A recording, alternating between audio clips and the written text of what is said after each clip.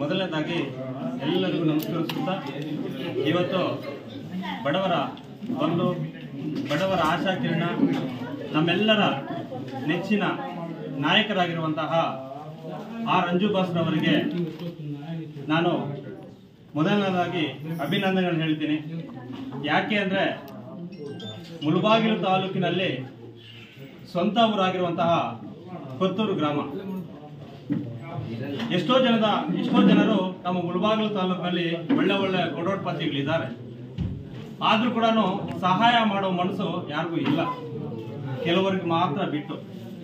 ಆದ್ರೂ ಕೂಡ ನಮ್ಮ ಆರ್ ಅವರು ಮುಳುಬಾಗಿಲು ತಾಲೂಕಿನಲ್ಲಿ ಒಂದು ಮನೆಯನ್ನ, ಒಂದು ಗೆಸ್ಟ್ ಹೌಸ್ ಅನ್ನ ನಿರ್ಮಾಣ ಮಾಡಿಕೊಂಡು ಕೂಲಿ ಕಾರ್ಮಿಕರಿಗೆ, ಬಡವರಿಗೆ ದೀನ ದಲಿತರಿಗೆ ವಿದ್ಯಾರ್ಥಿಗಳಿಗೆ ಅವರ ಕೈಲಾದಷ್ಟು ಮಟ್ಟಿಗೆ ಸಹಾಯ ಮಾಡಬೇಕು ಅನ್ನೋ ಒಂದು ಒಂದು ಉದ್ದೇಶ.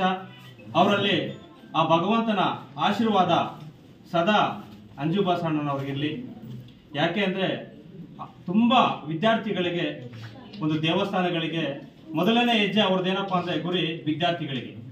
ಅವರ ಒಂದು ಭವಿಷ್ಯ, ಒಂದು ವಿದ್ಯಾರ್ಥಿಯ ಒಂದು ಭವಿಷ್ಯ ಮುಂದೆ ಮುಂಚೂಣಿಯಲ್ಲಿ ಸಾಗಬೇಕು ಅನ್ನೋ ಒಂದು ಕನಸು. ಯಾಕೆ ಅಂದರೆ ನಮ್ಮ ತಾಲೂಕಿನಲ್ಲಿ ನೂರು ಭಾಗದಲ್ಲಿ ಒಂದು, ಐವತ್ತು ಭಾಗ ಬಡ ಇದ್ದಾರೆ. ಅವರಿಂದ ಅವ್ರಿಗೇನಾದ್ರೂ ಸಹಾಯ ಮಾಡಬೇಕು ಅನ್ನೋ ಒಂದು ಮನಸ್ಸು ಆ ರಂಜು ಬಾಸ್ ಅವ್ರದ್ದು.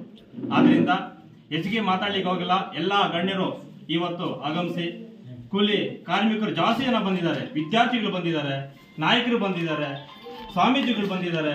ಎಲ್ಲರೂ ಕೂಡ ಬಂದು ನಮ್ಮ ಆರ್ ರಂಜು ಬಾಸ್ ಅವರಿಗೆ ಆಶೀರ್ವಾದವನ್ನು ನೀಡಿದ್ದಾರೆ. ಅದೇ ರೀತಿಯಲ್ಲಿ ನಮ್ಮ ಕರ್ನಾಟಕ ರಕ್ಷಣಾ ವೇದಿಕೆ ತಾಲೂಕಿನ ಎಲ್ಲಾ ಪದಾಧಿಕಾರಿಗಳು ಬಂದು ಒಂದು ಆಶೀರ್ವಾದ ನೀಡಿದ್ದಾರೆ.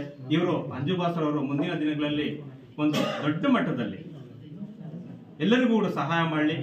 ಆ ಭಗವಂತನ ಆಂಜನೇಯ ಆಶೀರ್ವಾದ ಸದಾ ಇರಲಿ.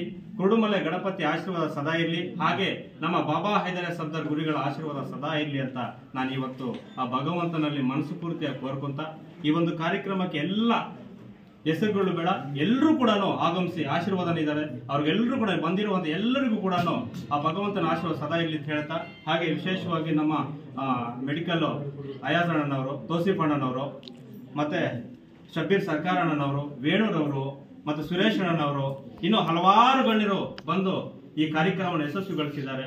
ನಾನು ಕೂಡ ಮೊದಲನಾಗ ಅವರೆಲ್ಲರಿಗೂ ಧನ್ಯವಾದ ಹೇಳ್ತಾ, ಈ ನನ್ನ ಎರಡು ಮಾತನ್ನು ಮಾತಾಡಲಿಕ್ಕೆ ಅವಕಾಶ ಮಾಡಿಕೊಟ್ಟ ಎಲ್ರಿಗೂ ಧನ್ಯವಾದ ಹೇಳ್ತಾ, ಮತ್ತೊಮ್ಮೆ ಆರಂಜು ಅವರಿಗೆ ಆ ಭಗವಂತನ ಆಶೀರ್ವಾದ ಸದಾ ಇರಲಿ ಅಂತ ನಾನು ಮನಸ್ಸು ಕೂತ್ಕೊಂತ ನಾನು ಎರಡು ಮಾತನ್ನ ಮುಗಿಸ್ತಾ ಇದ್ದೀನಿ. ಜೈ ಹಿಂದ್, ಜೈ ಕರ್ನಾಟಕ